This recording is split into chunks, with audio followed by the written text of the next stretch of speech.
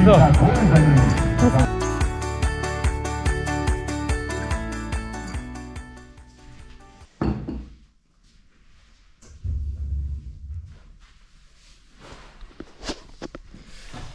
Dobro jutro. No, danes ni glih sončno jutro, ampak odlično vreme za državno prvenstvo gor dol, ki poteka danes uh, nad Hrastnikom na Kalu. Tako da, evo, pojemo, pa počasi bo kar treba iti, ker je dolga pot. Uh, evo, mesi tudi pakira. Seveda jaz za sineka pakiram. Mesi za sineka pakira. No, ampak najbolj pomembno je, kje pa je, lojo. Ven mi je vrgla mesi. Tres pa hlačke. To dvoje je najbolj pomembno danes. Pa Ja. neki za na noge. No. Ja, jaz sem Ja. pa rabila plac, ne? Ja, in je pol kar ven vrže, ne.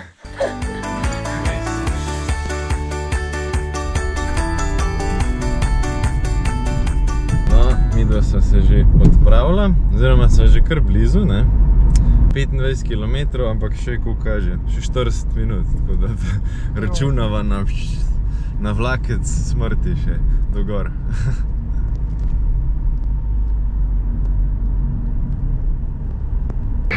Komentar nad vožnjo. Jaz nisem, ne vem, V glavnem, tole, kada, kada, mislim, traktor težko gor pride, ne avto.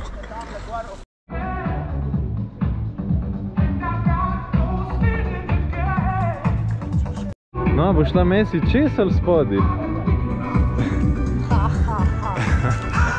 Dosti je visoka.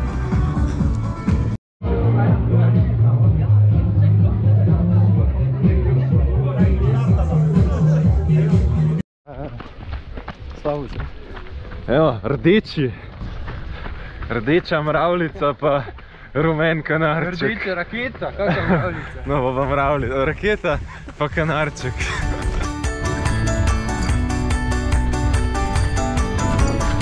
Panorama bo, kot da razgledi lepi med tekmo. No ja, jaz upam, da se ne zgodimo. Ne, trasi razgledne reči. Evo, zadnja priprava, jaz ga že preganjam. Messi že preganja, ker je res, moramo iti. Ja. No, moramo iti, pa še kar nekaj išče. A nimaš že vsega? Še vodico spiti.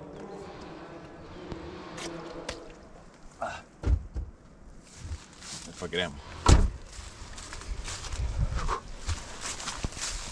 Onke so redi. Redi. Kaj ti Matej? Mrasa, ne? Mraz. Jasno. Ampak Zdaj, zakaj? Toplo. Zakaj pa nisi vzel trenerke si zdrav, pa bi ti je Jessi pol perjela? Zato, ker nočem obremenjevati. Aha. A čakaš, gospodič? A? Čakaš? Ja, čaka on. Viš, Mehek, o, kako mehek.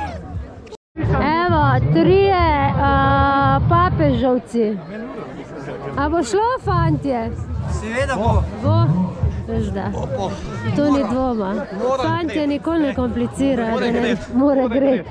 Danes te bo mogel greti, ja, če naš dober laufu. Te vzebl.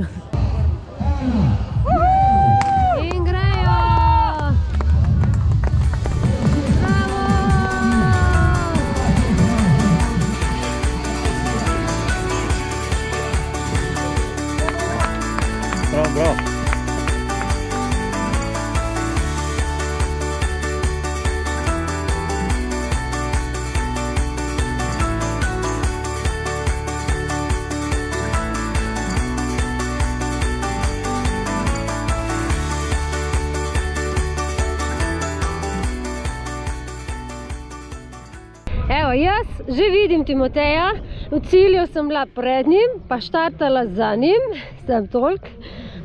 In on zdaj tlele že pride. Ajde, Timotej, ajde! Sicer je megla, ampak se ne vidi, ampak še mal, še mal, kako gre Timotej? Nikogar ni za njim, tako da lagano sportski v cilj. Ajde, ajde, ajde, lej vidite, te rokice male, kako navijajo.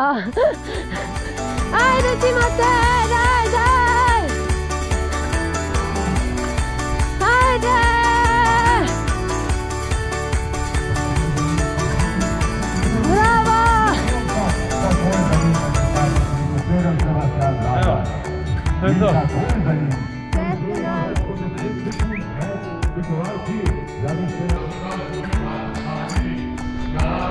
Evo, smo se hitro oblekli, ker je mraz, zdaj pa nazaj pogledati do konca tekme.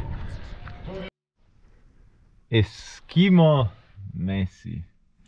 Zato, ker je predolg je navijala in zdaj zebe. Jaz sem šel pa kaj preobleči, mi je pa fajn toplo. A, dobra ta redekcija. To je iz Red Bull dolomite in vam skosijo noter in je taka res. To tok je toplo. Pač sintetika. Ja, Sintetiki ti pač ne diha. toplo. In Ja, je toplo. to je to. Zdrava prehrana. Jaz si pa nisem In za- solate prinesla, zraven sem se šla pa kar nabrati. Kdo je šel? je šel nabrati. Ja, Sam še ni zihar, da to ni poscan. ja ker kle pač, pač pretekmo vsi lulamo. jaz upam, da teli niso bili utrgani glih na takem mestu. če imaš to, vse uniči. Ja, ja. Kola. Pol pa na rojsten dan. Mm, to bo fajn. Bomo Vsi bojo prosto. bežali, prosto bomo imeli. A? Jaz ne znam prav cilju. Ampak zebe pa ne.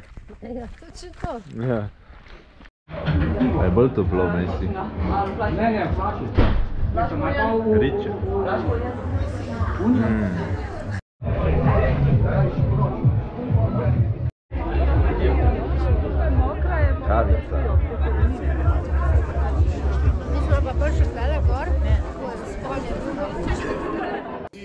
Trasa je bila zelo težka, predvsem zato, ker se prvi del spušča in je potem treba obrniti navzgor, v precej strm hrib na mrzelcu, tako da pa še razmere take, kot so bile, se pravi mokre, vlažno, tako da je bila podlaga dosti spolska, tako da je bilo treba paziti. No.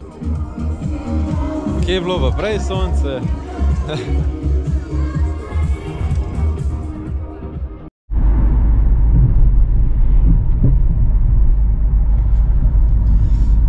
da sem mogla nažalost predčasno zapustiti prizorišče, kjer gremo na eno praznovanje. Uh, sicer sem prosil ene štirikrat, ne, če bi lahko pohitrili malo, ampak ni šlo. Ni šlo. Tako da, kaj čmo. Uh, ja, da se bomo pa končno ta, to sol dal dol, pa malo lepše oblekali. ne? Tako je. Predvsem pa zasluženo kosilo, no, tako bom rekel. Pa pejmo, kam gremo? Mami, pa babi. Ja, moraš še vse počakati.